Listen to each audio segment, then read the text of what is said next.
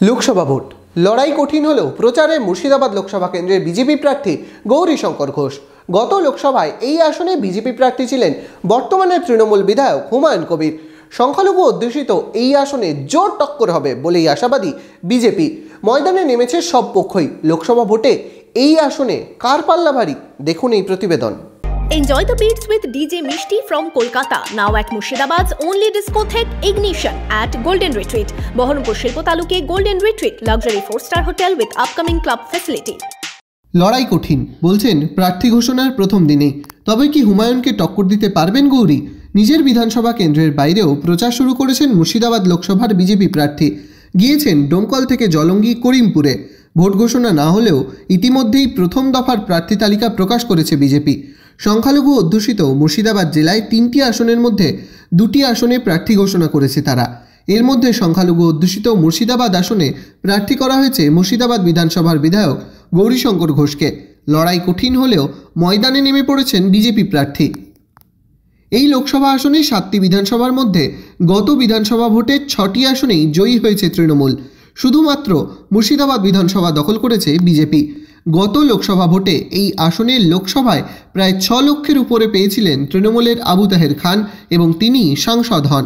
তবে কংগ্রেস দ্বিতীয় স্থানে থাকলেও উল্লেখ্যভাবে এই আসনে বিদায়ী সাংসদকে পিছনে ফেলে তৃতীয় স্থানে উঠে এসেছিল বিজেপি। তবে সেবারই এই আসনে প্রার্থী ছিলেন বর্তমানে ভরতপুরের তৃণমূল বিধায়ক হুমায়ুন কবির। বিজেপি সেবারে প্রায় সতেরো শতাংশ ভোট পেয়েছিল। তৃণমূল থেকে প্রায় সাড়ে তিন লক্ষ ভোটে সেবার এই আসনে পিছিয়ে ছিল বিজেপি। বিজেপি প্রার্থী ভোট পেয়েছিলেন প্রায় দু লক্ষ সাতচল্লিশ হাজার।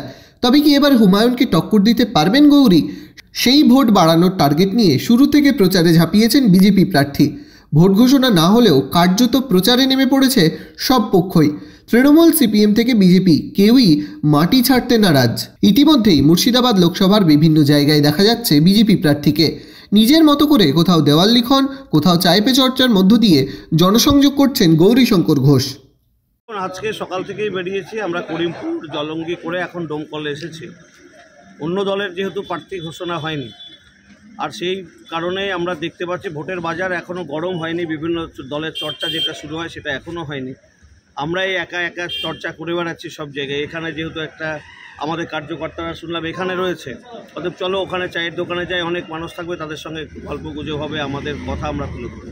এভাবেই মূলত চর্চা শুরু করেছি আমরা, দেওয়াল লেখন শুরু করেছি, ডোমকলেরও বিভিন্ন এলাকায় দেওয়াল লেখন শুরু হয়েছে। আগামী দিন স্ট্রিট কর্নার দিয়ে শুরু করে র্যালি, সব কিছুই আমরা প্রচার করব। তো এবারে এই মুর্শিদাবাদ জেলা থেকে বিজেপি প্রার্থীদের জেতাবে সেই কারণেই আমরা অগ্রিম প্রার্থী ঘোষণা করেছি এবং আমরা ভোট প্রচারেও নেমে গেছি। বারবার কখনো সিপিএম, কখনো কংগ্রেস, কখনো বা তৃণমূল জিতেছে। তো এবার মানুষ চাইছে বিজেপিকে একবার দেখব। সে কারণে বিজেপির পক্ষে মানুষের সমর্থন রয়েছে, মানুষের উচ্ছ্বাস দেখেছি, স্বতঃস্ফূর্ত সমর্থন মানুষের রয়েছে। এখন দেখার এই লোকসভা কেন্দ্রে জনতা জনার্দন কার পক্ষে থাকে? Bureau report, Imagine Community Media.